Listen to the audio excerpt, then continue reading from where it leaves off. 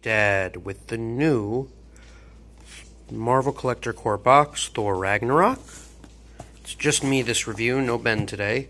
This is actually a smaller than normal box. Ooh. Ooh, and in months, in December we're having Hulk, which will be a nice Ragnarok tie-in too. We have a winter hat with the Hulk on it, which I will be wearing.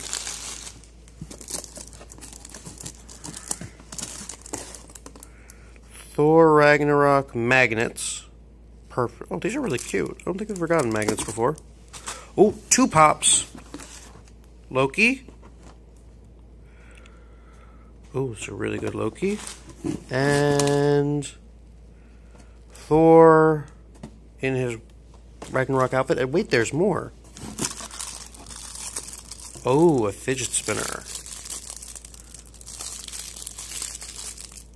My son will be very happy.